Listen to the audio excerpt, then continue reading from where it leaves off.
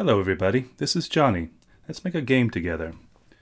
You will need for this game some paper, something to draw with, some playing pieces, a deck of cards, and maybe a bear. So let's get started. This game is called Number Battle. So on your paper, let's go ahead and write that in the middle. Number Battle.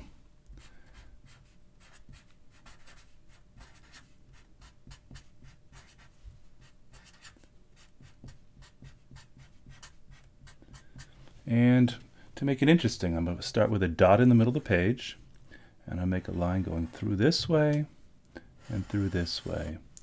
And let's think of some good numbers. Oh, I like the number 0. I also like 7. I like 12. And I like 24. And to make this work out well for us, let's put dots in each of the corners. You'll understand what they're for in a little while. So far so good. Let's go ahead and add some players. So let's see. There'll need to be two players for this. On this side, let's start with a little T, a couple big circles, a little circle, an arc, maybe an arc this way, and might as well give it some ears. How about some eyes, eyebrows, maybe a few whiskers. And this is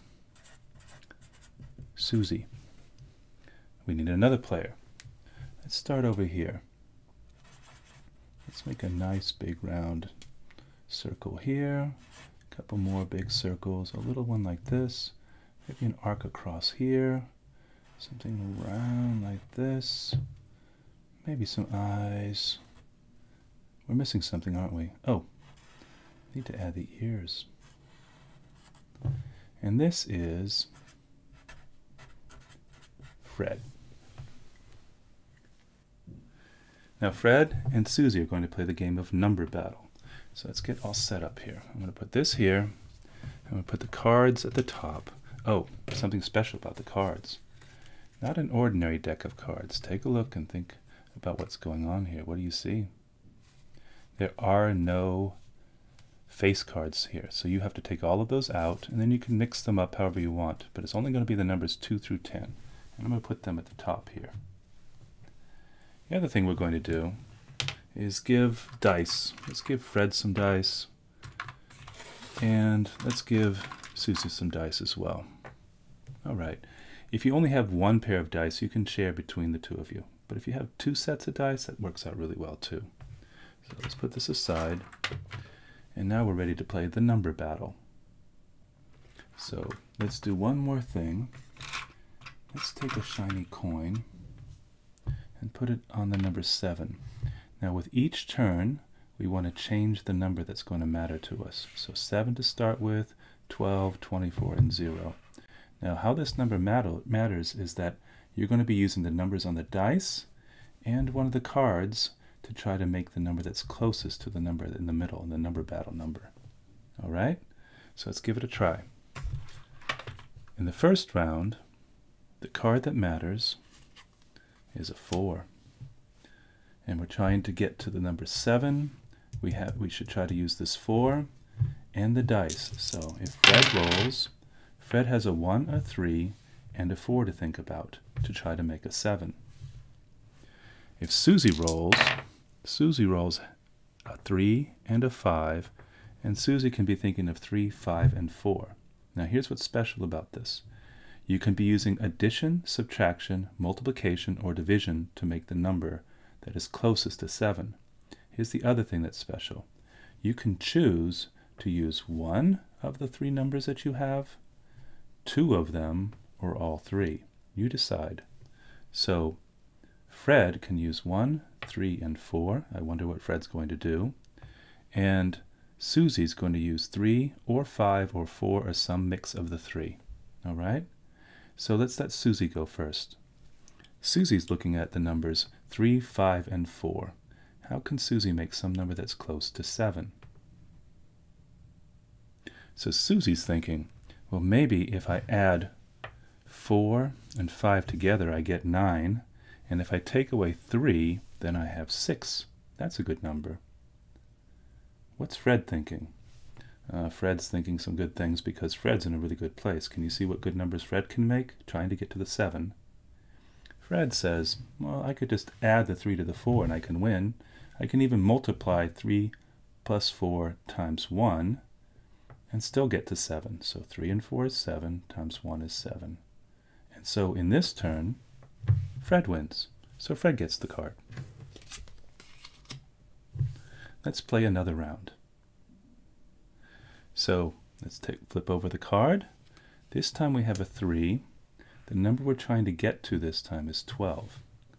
So Fred rolls the dice, and Susie rolls the dice as well. Think about the possibilities right now. Fred is trying to get to 12 using 3, 2, and 5. And Susie's trying to get to 12 using 5, 6, and 3. Remember, you don't have to use all three numbers. You can use any combination of them. So let's think about what Susie's going to be doing. Trying to get to 12. So Susie has the idea that maybe 6 times 3 is 18, and 18 minus 5 takes Susie to 13. So right now Susie has 13, which is only one away from the 12. What is Fred thinking? Well, Fred's looking at 2 times 5 is 10, and 10 plus 3 is 13 also. Oh, they both get the same number, and that's the closest they might get. So let's take this card, and we'll put it aside and save it for later. Let's play another round. This time we're thinking about the number 24. We flip a card. This time it's a 10. And Fred rolls a 2, a 5. And Susie rolls a 2 and a 6. What numbers are they going to make that get them closest to 24 to be the winner? So Susie starts by saying, well, I can make 2 times 6 is 12 and 12 is, and 10 makes, gives us 22. That's a great number. Fred looks at his numbers and sees 2 times 5 is 10, and 10 more gets to 20. That's not quite as good as Susie's roll. So Susie's going to win this turn. So let's put the dice aside and move on to the number 0. Now this one's going to be interesting. Here's the card that matters. And I want to put out a rule for you. Think about this in your gameplay. You will have to decide whether you only want to use counting numbers. Meaning, can use numbers that are fraction numbers or negative numbers? You'll have to decide with zero here. I'm going to stick to counting numbers. All right? So our number this time is 9. And Fred's going to roll. Fred got a good roll. Didn't Fred get a good roll? And Susie has a good roll as well. Let's see what we have.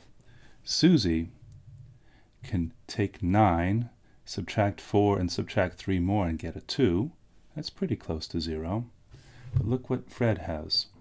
Fred has 6 and 4. 6 and 4 make 10, and 10 minus 9 gives us 1, which is closer to 0. So Fred wins this number battle and takes the card.